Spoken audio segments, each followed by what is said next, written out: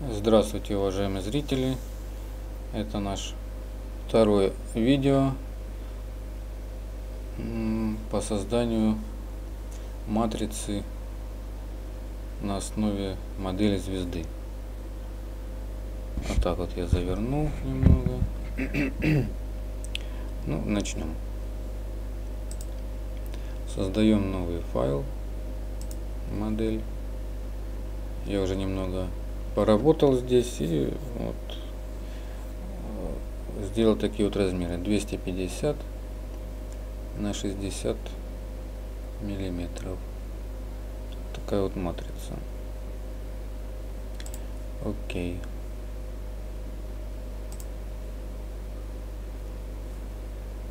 Теперь зададим ей нулевую точку в центре все, она переместилась у нас в центр. Вытащим направляющую, в ноль ее и заблокируем. Так, вот так у нас выглядит в трехмерном виде. Переходим в траектории и ищем задание заготовки. Дадим ей высоту, ну, допустим, 30 миллиметров. Окей. Ну, нам нужно, чтобы контейнер э, был внизу. Перемещаем ползунок. Окей, все. Сохраним. Матрица. Вот она у меня уже есть. Сохраняем.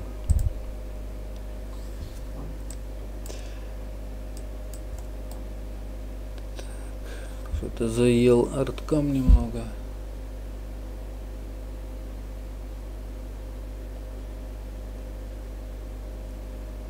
Один из подписчиков меня спрашивал, зачем часто сохраняться. Вот, пожалуйста. Арткам тупо вылетает и все, хоть ты тресни. Ставлю видео на паузу. Продолжим позже. Так, после паузы я таки не смог сохранить, оставил эти попытки, потому что, видимо, из-за видео э, арткам не может не может нормально сохраниться, зависает, вылетает. Ну не суть. Э, продолжим, значит, без сохранения. Но вы сохраняйтесь потому что в разгаре работы можно забыть о сохранении. И сохранять не просто сохранять, а допустим делать сохранить как и делать, э, ну, короче говоря, менять название файла, чтобы был второй файл. Потому что у меня было такое, что уже как бы зашел в моделирование очень далеко и нормально там все получилось, и вдруг бац, и все, ошибка, и ничего не смог сделать, пришлось переделать все заново. Короче, э, большую работу пришлось проделать. Так, продолжаем. Вот наша матрица, заготовка матрицы. Теперь нам нужно вставить на нее нашу звезду. Так, переходим в рельефы, им, импорт, нажимаем импорт и нажимаем рельеф. Рельеф э, нашей звезды, вот он. Его можно сохранять вот здесь вот сохранить рельеф, даем название, вот, и потом загружаем, так, открываем. У нас э, появилась такая вот менюшка. Наша звезда вон в углу где-то там. Переходим в 2D вид. Помощник. Так, давайте ее выровняем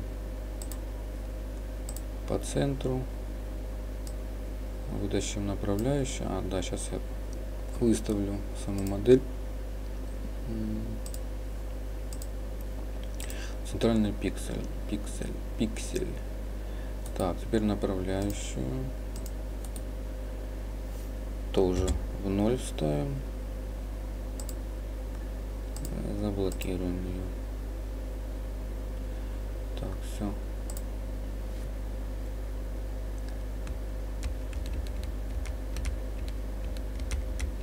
Помощью клавишами вправо-влево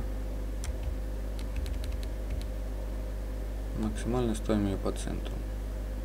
Так, вот, вот наша звезда. И мы ее перемещаем вниз. А, здесь можно также задавать направляющие, чтобы точно рассчитать э, количество э, моделей, э, которые будут помещаться в матрицу. Ну, этого я сейчас делать не буду. Я это, конечно, делал, когда работал. Вот, но сейчас просто вот, бы ориентируйтесь вот по этим направляющим, очень удобно. То есть выставляете модель точно в центр. Давайте, допустим, сейчас я модель опущу вниз полностью, где она примерно будет. Ну, наверное, здесь, скорее всего, она и будет.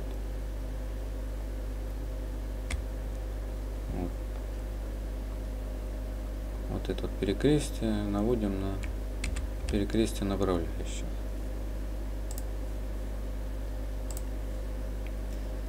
Так.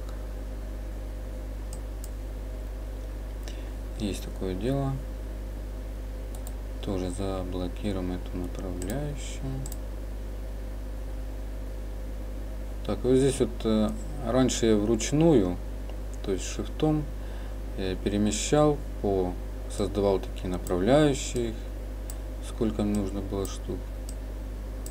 Ну, вот. Ну, здесь вот я нашел еще один инструмент, очень удобный, копии. Это э, очень похоже на э, массив вращения или линейный массив. Вот. И вот здесь вот есть э, точка э, копировать линейно. Вот. И здесь задаем сколько рядов.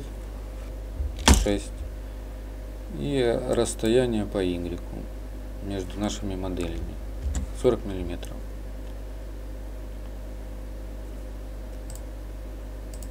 Так, кое-что я упустил. Ага.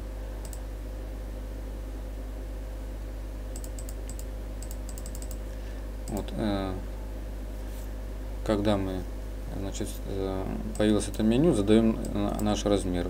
Как мы помним, она входила в окружность 20 миллиметров. 20 задаем, здесь 20, здесь задаем 7, снимем автоматическое масштабирование, применяем 20, 20, 20, 7.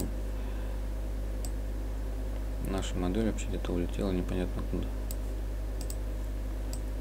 Закрываем и снова импортим нашу, наш рельеф. То же самое 20, 27 применить. Так, по центру вниз.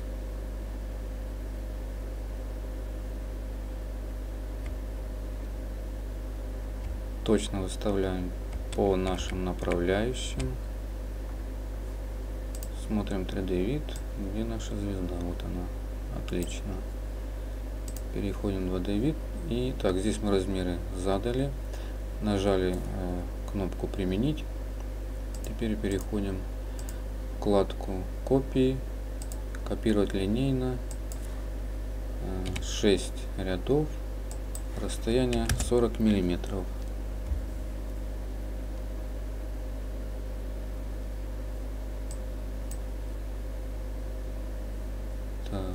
ставить.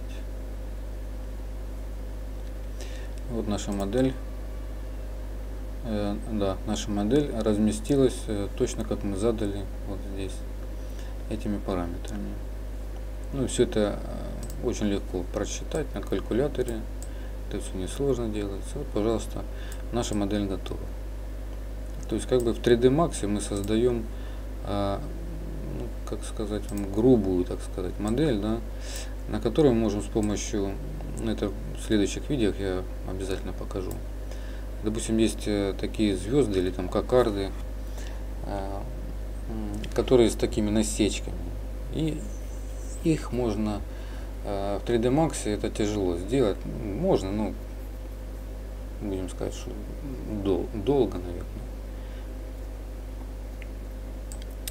А здесь можно с помощью векторов. То есть рисуется в 2D виде векторы здесь. Вот, и потом задаются с помощью э, редактора формы э, высоту этих векторов. Вот. Ну, как бы это я потом покажу вам. Ну, в 3D Max, конечно, тоже это все можно сделать. В каждой программе есть свои плюсы, есть свои минусы. Допустим, здесь в этой программе очень хорошо делать Эм, изгибать модель, то есть, э, допустим, вот матрица наша готова, а нам надо, чтобы она была полукруглая. И мы э, параметрами, то есть, допустим, ее в 2D виде полностью красим. Я раньше это показывал, э, там я орла, по-моему, лепил, там делал орла. Я закрасил полностью всю, всю нашу модель и редактором форм просто ее загнул на нужный градус, без э, как бы, потери качества вставленной э, нами сюда модели. Ну вот, в принципе, что я хотел вам показать. То есть, э, очень легко вставляется в матрицу, или, допустим, это может быть не матрица, это может быть какой-то быльце там, мебельное какое-то там. То есть, можно ставить звезду там, ну, это как я делал сейчас простую модель. Вот или там какие-то завитушки там отдельно как-то все это вставляется очень просто легко и потом э, э, в программе в программе ArtCam просчитывается и переносится все это в матч 3 э, вот, и э, обрабатывается ну эта э, матрица это маленькая а я делал там был такой заказ, нужно было сделать, э, ну, там немного по-другому, там э, векторами все делалось, и по средней линии я модель саму не рисовал, а просто были, были векторы, были нарисованы векторы, вот как здесь, да? Ну,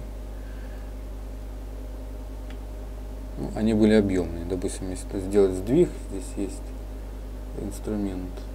Сейчас если его найду.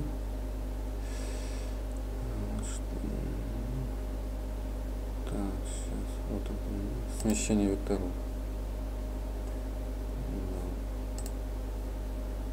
Сместить. Получится сейчас или нет?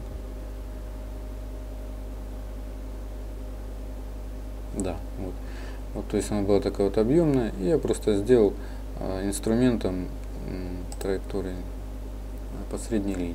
Где-то здесь есть она. Он гравировка по средней линии. То есть огромная там э, фреза, ну не огромная, а большая фреза, и она по средней линии ну, сделала хорошо, получилось. Вот, то есть саму модель я не рисовал.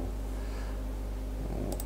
вот такое видео у нас получилось. Немножко, конечно, отклонился от того, что хотел. Э, спасибо за внимание. Ставьте лайки, подписывайтесь. Всем пока.